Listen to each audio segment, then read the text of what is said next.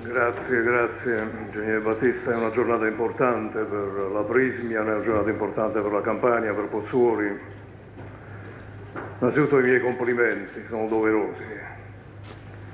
In un momento delicato, difficile per la situazione internazionale, per il nostro Paese, avere un grande gruppo che decide di investire nelle proprie attività e quindi nel futuro è qualcosa che ci dà incoraggiamento ad andare avanti.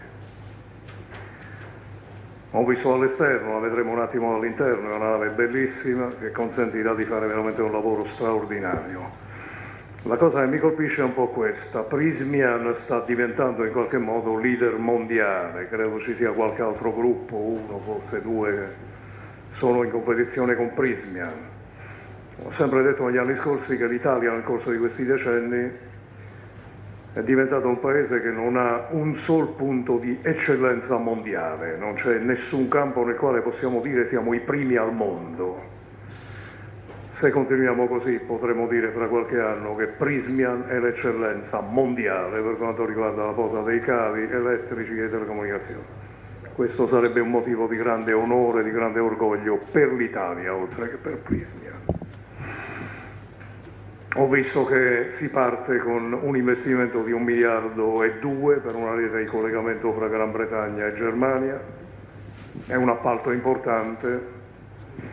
Mi auguro ovviamente che il governo italiano segua con attenzione, abbiamo avuto modo di sensibilizzare il governo anche su appalti che sono in corso per la fornitura di fibra ottica mi auguro che il governo comprenda che anche quando facciamo gare per le forniture di fibra ottica dobbiamo garantire la qualità del prodotto che acquistiamo,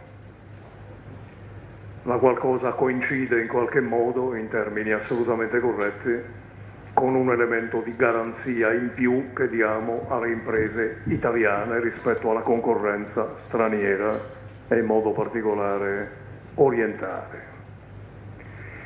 Prismian è una grande realtà che va tutelata senza nessun privilegio particolare, ma semplicemente scegliendo, come Sistema Italia, di acquisire prodotti di qualità, perché quando parliamo di qualità ovviamente non abbiamo preoccupazioni a fare gare, a confrontarci anche con altri produttori. Lo dico perché non vorremmo avere problemi delicati per quanto riguarda qualche stabilimento tipo Battipaglia ovviamente di fronte a offerte fuori mercato per noi eh, avrebbe un momento di criticità, ma oggi è una giornata di straordinaria importanza, di grande fiducia, di grande speranza nelle possibilità di sviluppo di tutto il gruppo.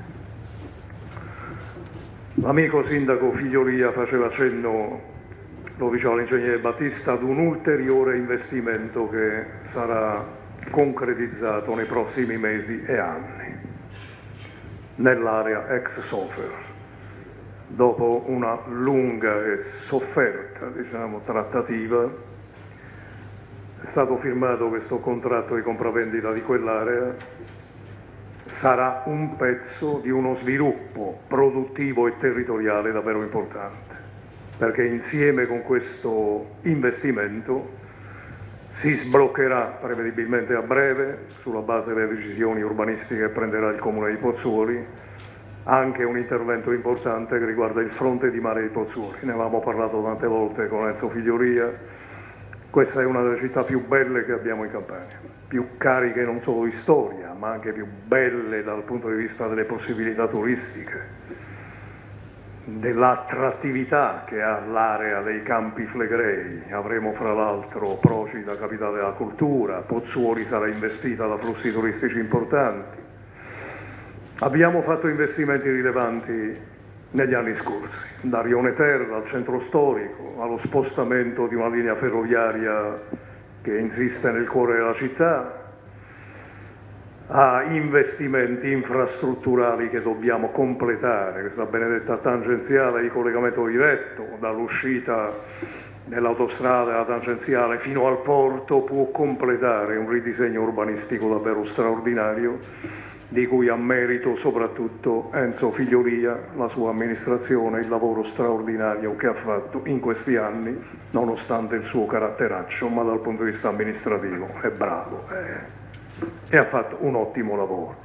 Mi sono preoccupato quando ha detto che mi invitava per il prossimo taglio del nastro, perché ogni volta che mi invita per un taglio del nastro ci rimetto 20 milioni di euro, quindi sono tagli, tagli mm, pesanti, diciamo, quelli che facciamo a Pozzuoli ma veramente li facciamo con grande piacere perché poter investire risorse trovando amministrazioni pubbliche, comuni che investono, dinamici, che si muovono, che riqualificano i territori, che creano opere pubbliche, è qualcosa che incoraggia anche noi ad andare avanti. Quindi noi abbiamo interesse ad investire le risorse, non siamo una banca pubblica, abbiamo interesse a riversare sui territori le nostre risorse.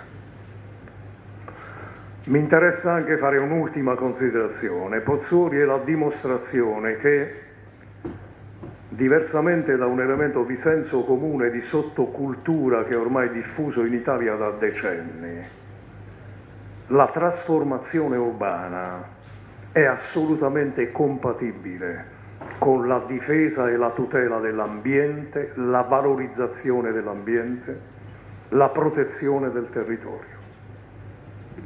In Italia è cresciuta una sottocultura della mummificazione. Non si può fare niente. Ogni cantiere che si apre è un delitto. Voi siete la dimostrazione, come Roberto Gerù, siete la dimostrazione che si può ridisegnare una città, elaborare un disegno di trasformazione urbana, nel segno della sostenibilità ambientale, della valorizzazione dell'ambiente, ma anche della grande architettura contemporanea, perché anche questo arricchisce un territorio, non lo impoverisce.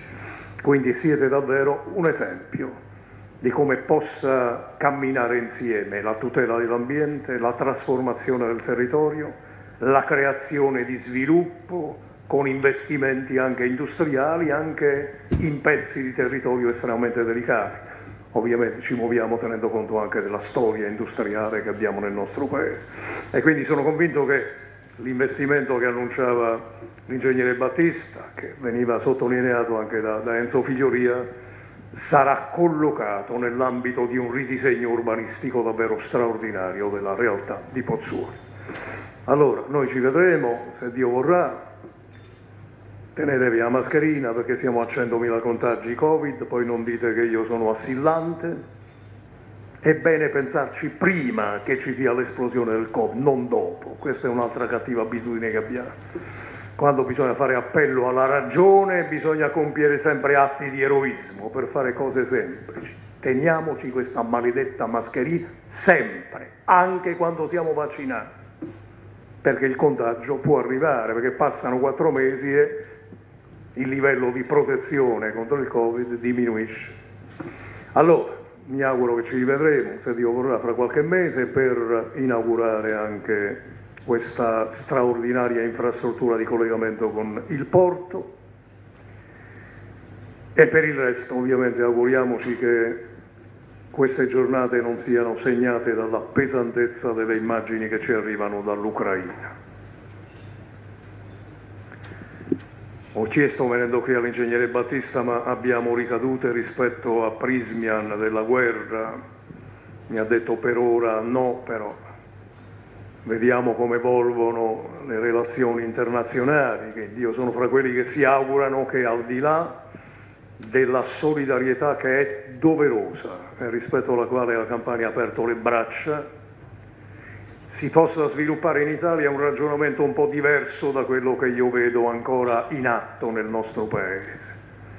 Ogni dibattito che seguo sull'Ucraina non ha un passato e non ha un futuro. Non si capisce che cosa è successo per arrivare alla guerra negli ultimi sei mesi e soprattutto non trovo mai la risposta ad una domanda che dovremmo farci soprattutto noi italiani qual è l'obiettivo a cui stiamo lavorando. Qual è l'obiettivo? Cioè come immaginiamo di uscire da questa tragedia? e mi auguro ovviamente che ci sia qualcuno che si cominci a porre questi interrogativi, perché fotografare gli orrori della guerra è una cosa semplice, è una cosa più complicata trovare le soluzioni alle guerre, trovare i punti di equilibrio fra le forze in campo, possibilmente lavorando prima che ci sia il bagno di sangue. Oggi anche i margini per le trattative sono estremamente ridotti e tuttavia al di là della ricerca di un compromesso, io non credo che ci siano soluzioni se non quelle catastrofiche che qualcuno ha anticipato facendo cenno all'uso di armi atomiche tattiche. Un passo alla volta, mi pare che ci stiamo avvicinando a soglie di pericolosità inimmaginabili per l'Europa e per il nostro Paese. Dunque ci auguriamo che nelle prossime settimane e mesi potremo incontrarci di nuovo Pozzuoli per inaugurare belle opere, ma avendo un animo più leggero e avendo davanti agli occhi una prospettiva più serena di sviluppo per il nostro Paese, per l'Europa e soprattutto di pace. La pace va costruita perché non arriva da sola, va costruita con intelligenza, con prudenza, in qualche caso abbassando i toni, perché se alziamo i toni tu e io non succede niente. Se li alza qualcuno che magari ha la responsabilità della politica estera, forse non è la cosa più utile per trovare i punti di compromesso necessari a questo punto. Intanto, caro ingegnere, grazie per l'impegno che avete profuso, grazie per questo investimento grazie per la fiducia che ci date per il futuro del nostro Paese, del nostro sistema produttivo, del mondo del lavoro. In bocca al lupo e complimenti. Grazie.